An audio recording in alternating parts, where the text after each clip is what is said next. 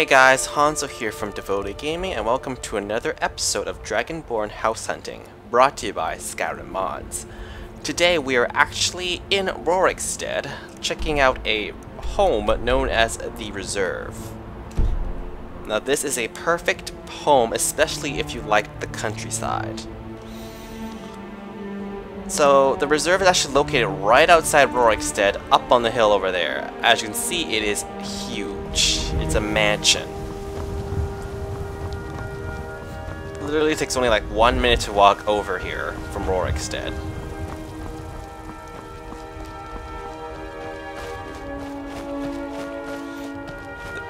The reserve can easily fit the Dragonborn and 10 to 15 of his followers. It is a massive. Now before I actually head inside to the reserve, we're gonna check out the back. It has a stable with one horse. It has a outhouse, a, a rarity in Skyrim. Not many places have a bathroom for people to go. No, I'm not sure actually acts as a outhouse, but it looks like an outhouse. Has a bucket and everything, has a book and a bowl.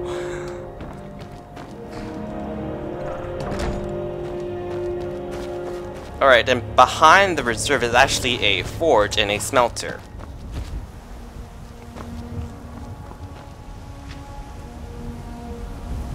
And you have a maid or servant that actually works for you here. It's a River. fine day with you around. She actually um, sells food and some stuff that you can sell to her. She actually buys everything off of you. So if you have any excess stuff, you can always come to her and she can take it off your hands. Because she has a fair amount of gold on her hands. Now, River actually time. stays in the um, quarters behind her in this place. Even the servants' quarters is kind of big, so we're just going to go in here really quick and take a look. I don't think River would mind. As you can see, even for a servant's quarters, it's pretty spacious.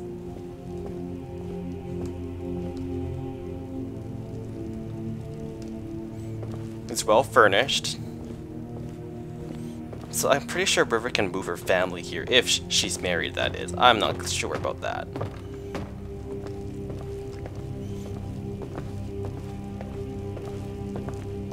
And I think in this bed you can also sleep in this bed, but why would you sleep here when there's a big mansion behind you?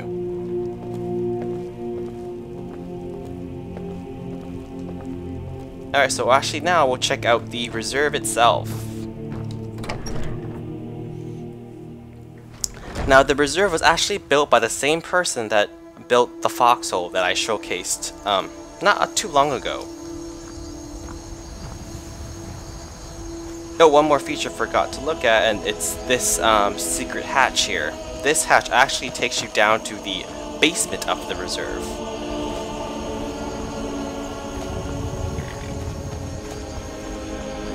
Here, let's head on inside.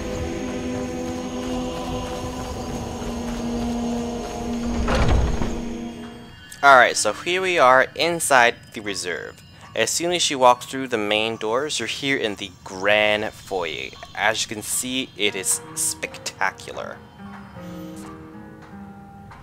It's well lit and it's completely furnished. It looks like there is a garden in here because there's planted some plants and trees in here, so it's absolutely beautiful in here. Alright, so from here, we the left is the den slash master bedroom, and on the right we have the forge. We're gonna quickly look at the forge first.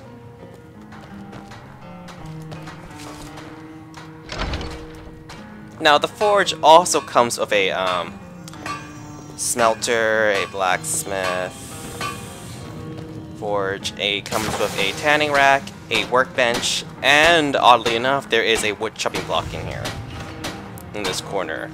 The grindstone's also here, tucked away. As you can see, it is again well equipped with storage space. So you never really have to worry about space. Plenty of weapon racks here on the sides.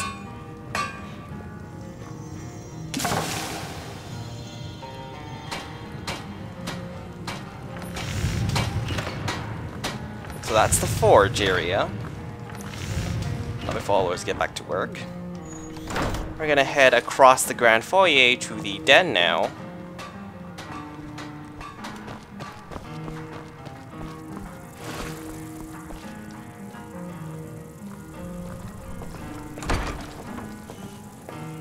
The den has a really cozy atmosphere feel. It's completely different from the um, the uh, Grand Foyer and the Forge, because as you can see, the lighting has completely changed. Everything is lit with candles. There's a nice cozy feeling of a nice place to relax. So in the den here, you can see there's plenty of bookshelf space. There's a huge chest. There's a bench. Oh, there's a bird here. Where's the birdie? Did it fly out? Escape? Well, here's a letter about it. You can pause and look at it. But yeah, the bird was in here. I don't know what happened to it. Anyway, moving on. Nice fireplace, nice two seats in front of it. Now next to the fireplace is actually a safe where you can store stuff. Plenty of storage. Once again, there's no storage space issues in this home. Here is one of the beds. And I think this is the welcome note here. Once again, you can just pause the screen real quick to take a look at this.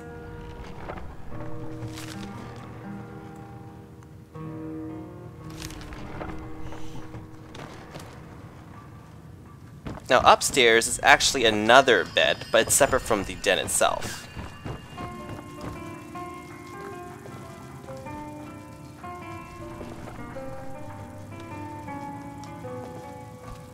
But I think the bed in the den looks a lot better, don't you agree? Now we're going to look at something that's also rare in Skyrim. I already mentioned the outhouse is kind of rare to find in Skyrim. In here, we have a shower. That is very rare, especially in the world of Skyrim.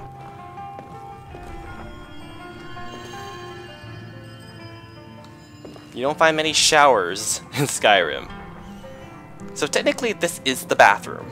Well, not bathroom, I think it's just, you know, a shower area. The bathroom's outside the outhouse.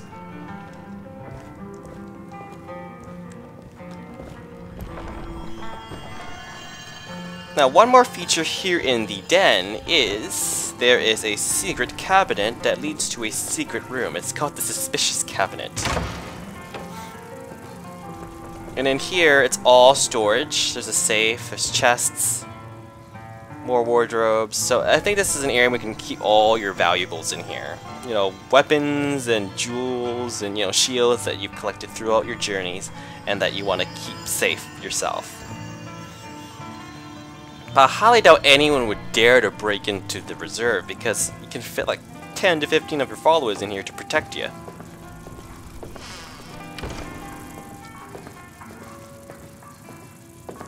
Alright, that's the den area. Now we're gonna go down into the center area.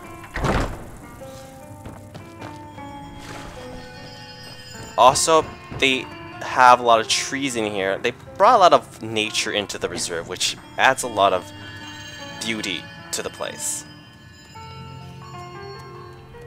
Now in this hall we have an enchanting table, we have a alchemy lab, and also in here we have a dragon friend of ours. No, he doesn't do anything. He won't attack you, he just looks at you.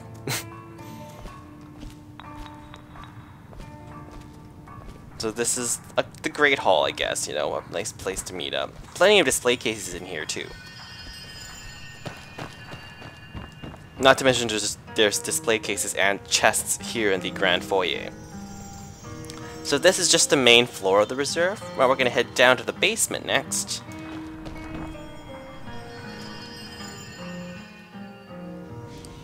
Alright, here we are in the reserve basement. As you can see, it is also very wide open and spacious. Now down here has the training facilities. It also has the dining hall and a tavern, as I would put it. And the library is also down here. So right to your left as you enter the um, basement is this nice desk in this study area for some peace and quiet. Again, there's a chest Down the center here is like a big museum-like area where there's plenty of display cases where you can hang up your weapons as if they were trophies.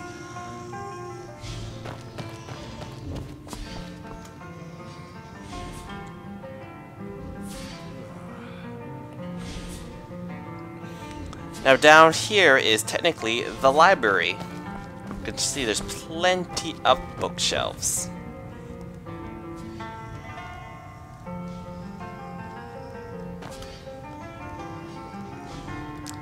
Once again, the fireplace with two seats in front of it, perfect, especially in this environment where you grab a book and relax in front of the fire. Now over here we have the tavern slash bar I've been talking about.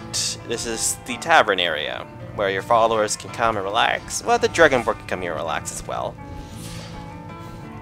It's well stocked, and there's a nice cooking area here.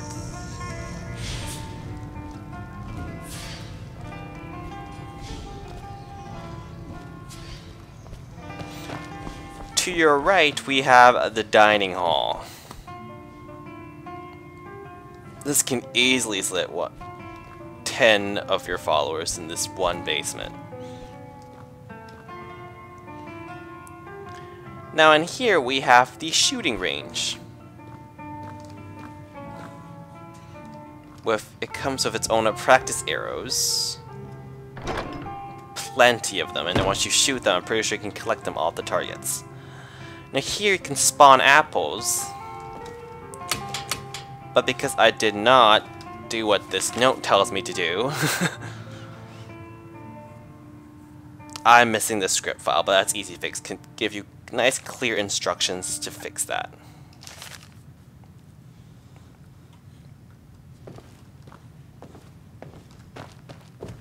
So basically this is the reserve basement, nice relaxation area. Now this ladder takes you outside to that place where I was talking to you about, outside behind the reserve. This is a nice escape hatch, but a better escape hatch is actually right here. This escape hatch actually takes you out to a Whiterun. I'm going to take a quick peek and we'll come back in here.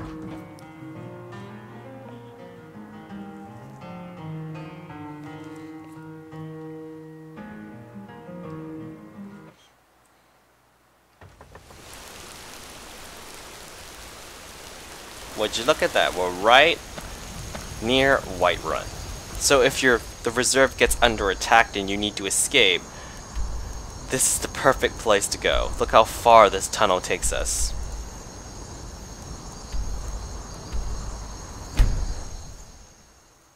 So that concludes our tour through the reserve.